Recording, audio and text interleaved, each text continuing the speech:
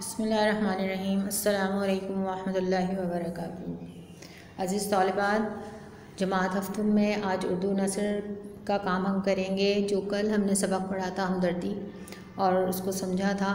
उसके आज अल्फाज माने आपके सामने बोर्ड पर तहरीर कर दिए गए हैं। आप भी इनको देख लीजिए और अपनी कॉपी में नोट कर लीजिए। लफ्ज़ इसी तरह से ब्लैक से लिखे हैं और मानी ब्लू से लिखे गए हैं। पहला लफ्ज़ है ताजुब इसके मानी है हैरत। दूसरा है ताकीद, जिसके मानी है इसरार या ज़ोर देना। फिर है हर्ज, नुकसान मानी है। गमज़दा के मानी रंजीदा, परवरिश के मानी पालना। फुंक के मानी तपना। हमजोलियों के मानी सहेलियों। गशी के मानी बेहोशी। टेम्परेचर के मानी दर्जा हरारत। दिलजोई के मानी तसल्ली, चश्मे ज़दन के मानी फौरी तौर पर यकायक, सरगोशी के मानी बहुत आहिस्ता आवाज़, गाफिल के मानी गफलत करने वाला गनूदगी के मानी है ऊँग या जागते हुए नींद में होना। जान में जान आना मुहावरा है, इसके मानी है इतमान होना मामूर के मानी है फ़ायज़ फ़रहत के मानी है सुकून या खुशी, बदौलत, वजह से। इसरार यहाँ इसरार के मानी है ज़िद करना या बहुत ज़ोर देना। हशाश बशाश के मानी है नहायत खुश और तरोताज़ा। अल्फाज मानी के बाद अब हम आ जाते हैं मशक़ी सवालात पर। पहला मशक़ी सवाल आपका सफ़ा नंबर चौबीस पर आप देखें किताब खोल कर तो पहला सवाल है, दिए गए सवाल के मुख्तर जवाब तहरीर कीजिए। पहला सवाल, अलिफ, नादरा स्कूल से क्यों गैर हाजिर थी? हेडिंग यहाँ पर दीजिए, लिखिएगा नादरा की गैर हाज़िरी। बोर्ड पर भी आपको लिखी हुई नज़र आ रही है, पहले सवाल की हेडिंग नादरा की गैर हाज़िरी। इसका जवाब कुछ इस तरह से आप दे सकते हैं अपने अल्फाज में कि नादरा की गैर हाज़िरी की वजह जो थी, वो उसकी नानी की बीमारी थी। नादरा स्कूल से इसलिए गैर हाजिर थी क्योंकि उसकी नानी बहुत बीमार थी। दूसरा सवाल है, आपा सिद्दीक़ा को अतिया ने क्या बताया? इसकी हेडिंग आपको सामने बोर्ड पर नज़र आ रही है, अतिया का जवाब।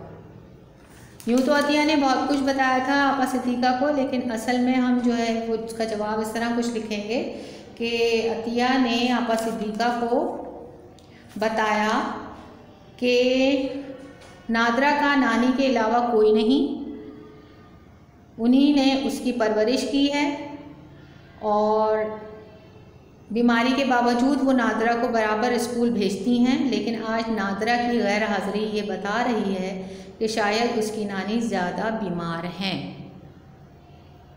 सुना आपने और नोट किया? अतिया ने क्या जवाब दिया? आपा सिद्दीक़ा को? आपा सिद्दीक़ा को अतिया ने बताया कि नादरा का नानी के अलावा कोई नहीं, उन्होंने ही इसकी परवरिश की है। बीमारी के बावजूद नादरा को वो बराबर स्कूल भेजती रहीं, लेकिन आज नादरा की गैर हाज़िरी ये बता रही है कि शायद उसकी नानी बहुत ज़्यादा बीमार है। तीसरा सवाल, आपा सिद्दीक़ा ने लड़कियों को क्या मशवरा दिया? यहाँ हेडिंग आप देख सकते हैं जीम के आगे लिखी है, आपा सिद्दीक़ा का मशवरा। आपा सिद्दीक़ा ने तमाम लड़कियों को मशवरा दिया कि आप सबको मिलकर नादरा की मदद करनी चाहिए। फिर चौथा जो सवाल है, लड़कियों ने नादरा की किस तरह मदद की? हेडिंग आप देख रहे हैं, सामने आपके लिखी है, लड़कियों की नादरा से हमदर्दी। ठीक है, इसी तरह आप उतारेंगे कॉपी में भी, और जवाब आप लिखेंगे कि नानी की बीमारी की खबर सुनते ही तमाम लड़कियाँ उस नादरा के घर पहुँच गईं। नानी की बीमारी की खबर सुनते ही तमाम सहेलियाँ नादरा के घर पहुँच गईं और मुख्तलिफ़ टोलियों में बट गईं और घर के मुख्तलिफ़ काम करने लगीं। यूँ चश्मे ज़दन में सारे काम सुलझ गए, जैसे कभी उलझे ही ना थे। ये सब कुछ आपकी बुक में मौजूद है और आपको सिर्फ़ पढ़ना है और इसको ढूंढ निकालना है अपने अल्फाज में कि किस तरह से आपने इसका जवाब लिखना है। सवाल पढ़िए। लड़कियों ने नादरा की किस तरह मदद की? हेडिंग दीजिए। लड़कियों की नादरा से हमदर्दी। अब जो लड़कियाँ थी वो नानी की बीमारी की खबर सुनते ही नादरा के घर पहुँच गई और तमाम लड़कियाँ मुख्तलिफ़ टोलियों में बढ़ गई। घर के मुख्तलिफ़ काम करने लगीं। यूँ देखते ही देखते सारे काम ऐसे सुलझ गए जैसे कभी उलझे ही ना थे। सवाल नंबर एक का आखिरी सवाल है। हाँ डॉक्टर साहब किस बात से खुश थे? हेडिंग आप सामने देख सकते हैं, डॉक्टर साहब की खुशी की वजह। हे, सवाल में लिखा हुआ है कि डॉक्टर साहब की खुशी की वजह। अब डॉक्टर साहब की खुशी की वजह क्या थी? डॉक्टर साहब को ये देखकर ये ये देखकर बहुत खुशी हुई थी, डॉक्टर साहब को ये देखकर बहुत खुशी हुई थी कि तमाम बच्चियों ने मिलकर घर को शीशे की तरह चमका दिया था और नानी अम्मा को बाकायदगी से दवा और गज़ा मिल रही थी। सफ़ा नंबर तेईस पर अगर आप सेकेंड लास्ट पैराग्राफ में देखें तो इसका जवाब आपको मिल सकता है। ठीक है तालिबात फिर सवाल नंबर दो देखिए अपनी किताब में। सवाल नंबर दो है कि दिए गए जुमलों की वजाहत कीजिए। अब दिए गए जुमलों की वजाहत कैसे करनी है आपको? दिए गए जुमलों की वजाहत आप देख लीजिए, कॉपी में किस तरह की गई है। दिए हुए गए जुमलों की वजाहत कीजिए, सवाल लिखेंगे आप, सवाल नंबर दो, फिर अलिफ जुमला है आपका, नानी बुखार में फूंक रही थी। यानी इन जुमलों को वजाहत आपने देनी है। तो आप इसका हवाला, इसका तरीक़ाकार ये होता है कि आपने जुमला लिखा, फिर उसका हवाला लिखा हेडिंग देकर। हवाला क्या है कि वजाहत तलब जुमला सबक हमदर्दी से लिया गया है, ठीक है? और उसके बाद वजाहत की हेडिंग देकर आप सिर्फ़ इसके, इस जुमले को वाजे करेंगे। बहुत लंबी चौड़ी बात नहीं करनी है, ठीक है? बात आप क्या करेंगे? नादरा की नानी को इतना तेज़ बुखार था, जिसकी वजह से उनका जिसम आग की तरह तप रहा था। ठीक है? अब देख लेते हैं दूसरा जुमला।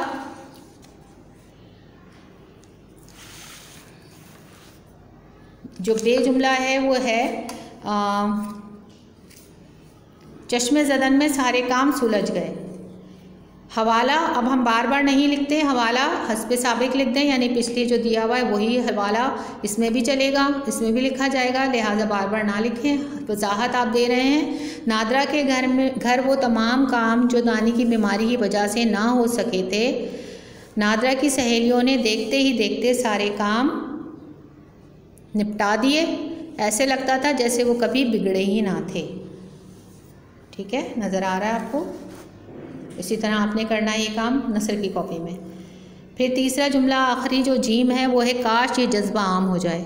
हवाला है हसब सबक, यानी वही वाला हवाला, लेकिन जब आपकी इम्तहान में अगर ये जुमला आ जाता है तो आप हवाला हसब सबक नहीं लिखेंगे, बल्कि पूरा हवाला देंगे कि ये जुमला जो है, कहाँ से लिया गया, किस सबक का है।